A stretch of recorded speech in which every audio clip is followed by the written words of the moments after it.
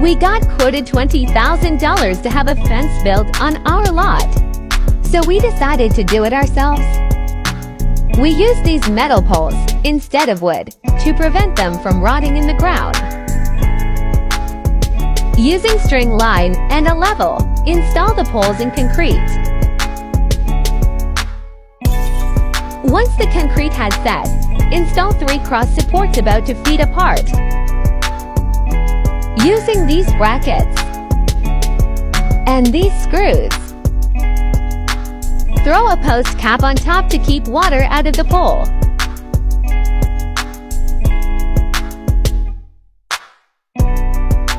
And there you have it. Any questions?